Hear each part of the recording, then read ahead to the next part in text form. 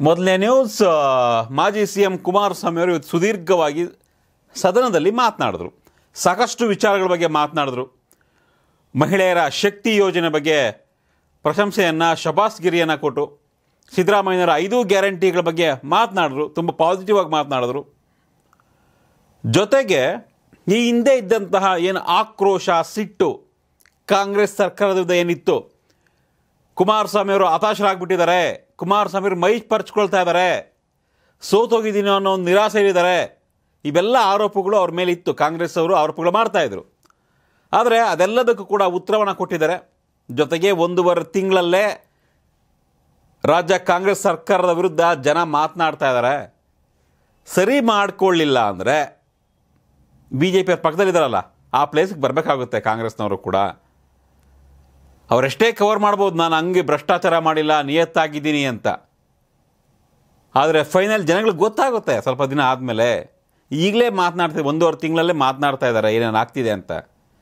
So Congress ಎಚ್ಚರಿಕೆಯಿಂದ ಇರಬೇಕು ಅಂತ ಸಲಹೆಯೂ ಕೂಡ ಕೊಟ್ಟರು ಒಂದು ರೀತಿ ಕುಮಾರಸ್ವಾಮಿ ಅವರ ಮಾತುಗಳು, ಕಾಂಗ್ರೆಸ್ನವ್ರಿಗೆ ಜೊತೆಗೆ ಬಿ ಜೆ ಪಿಯವ್ರಿಗೂ ಕೂಡ ಶಾಕ್ ಕೊಟ್ಟಿದ್ದಂತೂ ಸುಳ್ಳಲ್ಲ. ಯಾಕಂದರೆ ಅವರ ಎಲ್ಲ ಮಾತುಗಳು ಇವತ್ತೇನು ಸೆಷನಲ್ಲಿ ಮಾತಾಡಿದ್ರು ಒಂದು ರೀತಿ ಕೂಲಾಗಿ ಎಲ್ಲವನ್ನು ಕೂಡ ಏ ಈಗ ಮಾಡ್ರಪ್ಪ, ನಾವು ನಿಮ್ಮ ಜೊತೆ ಇದ್ದೀವಿ ಅನ್ನೋ ಥರ ಮಾತನಾಡಿದ್ರು. ಹಾಗಾಗಿ ಕುಮಾರಸ್ವಾಮಿ ಅವರು ಒಂದು ಯೂಟ್ಯೂಬ್ ನೋಡಿದ್ಬಿಟ್ರಾ ಅನ್ನೋ ಥರ ಫುಲ್ ಕನ್ಫ್ಯೂಷನ್ ಆಗೋಯಿತು. ಕುಮಾರಸ್ವಾಮಿ ಅವರು ವರ್ಗಾವಣೆ ಮತ್ತು ಪೋಸ್ಟಿಂಗ್ ದಂಧೆ ವಿಚಾರವಾಗಿ ಬೇನ್ ಬಾಂಬ್ ಸಿಡಿಸಿದ್ರು. ಅದರಿಂದ ಕಾಂಗ್ರೆಸ್ಗೆ ಒಂದು ರೀತಿ ನಿದ್ದೆ ಕೆಟ್ಟಿತ್ತು.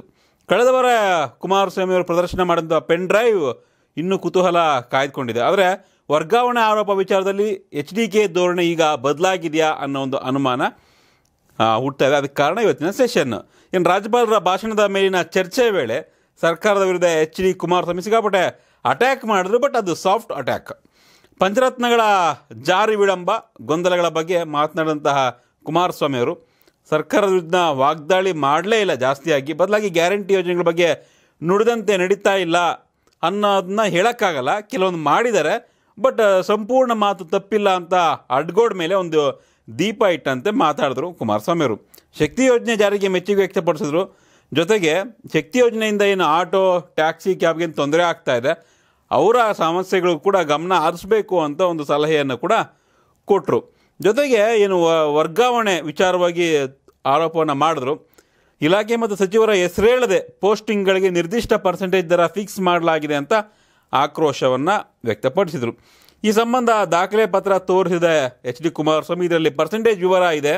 ಸಿ ಎಂಗೆ ಕಳಿಸ್ಕೊಡ್ತೀನಿ ಅಂದರು. ಈ ವೇಳೆ ಕಾಂಗ್ರೆಸ್ ಹೆಸರು ಆಕ್ಷೇಪ ವ್ಯಕ್ತಪಡಿಸಿದ್ರು ಕೂಡ ಎಚ್ ಡಿ ಕೆ ವರ್ತನೆ ಶಾಂತ ರೂಪದಲ್ಲೇ ಇತ್ತು. ಸದನದಲ್ಲಿ ವರ್ಗಾವಣೆ ದಂಧೆ ಬಗ್ಗೆ ಈ ಮುಂಚೆ ರೆಬಲ್ ಆಗಿ ಪೆನ್ ಡ್ರೈವ್ ಪ್ರದರ್ಶನ ಮಾಡಿ ರೋಷಾವೇಶ ತೋರಿದ್ದ ಎಚ್ ಡಿ ಕುಮಾರಸ್ವಾಮಿ ಇವತ್ತು ಸಿಕ್ಕಾಪಟ್ಟೆ ಸಾಫ್ಟ್ ಆಗಿ ಕಾಣಿಸ್ತಾ ಇದ್ರು. ಪೆನ್ ಡ್ರೈವ್ ವಿಚಾರ ಪ್ರಸ್ತಾಪ ಮಾಡಲೇ ಇಲ್ಲ. ವರ್ಗಾವಣೆ ವಿಚಾರದಲ್ಲಿ ಕೂಡ ಯೂಟರ್ನ್ ಏನಾದರೂ ಹೊಡೆದ್ಬಿಟ್ರೆ ಯಾಕೆ ಇಷ್ಟೊಂದು ಕೂಲ್ ಆಗಿಬಿಟ್ರಲ್ಲ ಕುಮಾರಸ್ವಾಮಿ ಅವರು? ಅಂತ ಬಿ ಜೆ ಪಿಗೂ ಕೂಡ ಒಂದು ರೀತಿ ಶಾಕ್ ಆದಂತೆ ಕಾಣಿಸ್ತಾ ಇದೆ. ಸಾಕಷ್ಟು ಕೂಲಾಗಿ ಮಾತಾಡಿದ್ರು ಅವರು. ನಾವೇನೂ ಭ್ರಷ್ಟಾಚಾರ ಮಾಡಿಲ್ಲ, ನಾವು ಹಂಗೆ ಮಾಡಿದ್ದೇವೆ, ಹಿಂಗೆ ಮಾಡಿದ್ದೇವೆ ಅಂತ ಹೇಳ್ಕೊಂಡು ಬಿ ಜೆ ಪಿಯವರು ಇದ್ದರು ಇವತ್ತು ಅವರು ಆ ಪ್ಲೇಸಲ್ಲಿ ಕೂತ್ಕೊಂಡಿದ್ದಾರೆ. ಇವತ್ತು ಕಾಂಗ್ರೆಸ್ನವರು ನಾನು ಎಚ್ಚರಿಕೆ ಕೊಡ್ತಾ ಇದ್ದೀನಿ ನೀವು ಹಿಂದೆ ಚುನಾವಣೆ ಪೂರ್ವದಲ್ಲಿ ಹೇಳ್ತಿದ್ರಿ, ನಾವು ಭ್ರಷ್ಟಾಚಾರವನ್ನು ಕ್ಲೀನ್ ಮಾಡಬೇಕು, ಹಾಗೆ, ಹೀಗೆ ಅಂತ. ಅದಕ್ಕೆ ನನ್ನ ಸಂಪೂರ್ಣ ಬೆಂಬಲ ಇದೆ. ನೀವು ಆಗಿ ಮಾಡಿದ್ದೇ ಆದರೆ ಅಂತ ಹೇಳಿದ್ರು. ಜೊತೆಗೆ ಆ, ಇಂದಿನ ನಮ್ಮ ಡೈಲಾಗ್ ಹೇಳಿದರು. ಯಾರನ್ನಾದರೂ ವ್ಯಕ್ತಿಯೊಬ್ಬ ಹಾಳಾಗಬೇಕು ಅಂದರೆ ಸೆಕೆಂಡ್ ಹ್ಯಾಂಡ್ ಲಾರಿ ಕೊಟ್ಟಿದ್ರೆ ಹಾಳಾಗ್ತಾ ಇತ್ತು ಬಿಸ್ನೆಸ್ಸು ಇವತ್ತು ರಾಜಕಾರಣಕ್ಕೆ ನಿಲ್ಲಿಸಿದ್ರೆ ಚುನಾವಣೆಗೆ ಬಂದವ್ರಿಗೆ ಚುನಾವಣೆ ನಿಲ್ಲಿಸ್ಬಿಟ್ರೆ ಸಾಕು.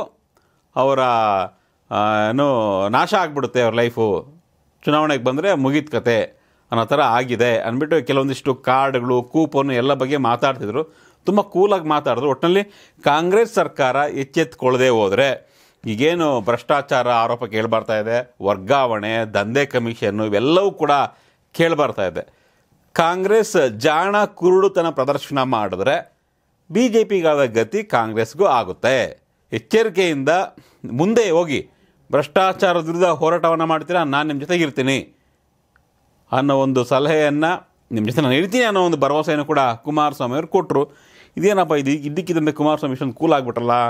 ಏನಾದರೂ ಲೆಕ್ಕಾಚಾರ ಇದೆಯಾ? ಯೂ ಟರ್ನ್ ಏನಾದರೂ ಹೊಡೆದ್ರ ಕುಮಾರಸ್ವಾಮಿ ಅಂತ ಚರ್ಚೆ ಆಗ್ತಾ ಇದೆ. ಒಟ್ಟಿನಲ್ಲಿ ಕುಮಾರಸ್ವಾಮಿ ಅವರು ಹಿಂದೆ ಇದ್ದಂಥ ಕುಮಾರಸ್ವಾಮಿಗೂ, ಇವತ್ತಿನ ಕುಮಾರಸ್ವಾಮಿಗೂ ಸಾಫ್ಟ್ನೆಸ್ ಕಾಣಿಸ್ತಾ ಇತ್ತು. ನೋಡೋಣ ಮುಂದಿನ ದಿನಗಳಲ್ಲಿ ಎಲೆಕ್ಷನ್ ಬೇರೆ ಹತ್ರ ಬರುತ್ತಲ್ಲ, ಲೋಕಸಭಾ ಚುನಾವಣೆ.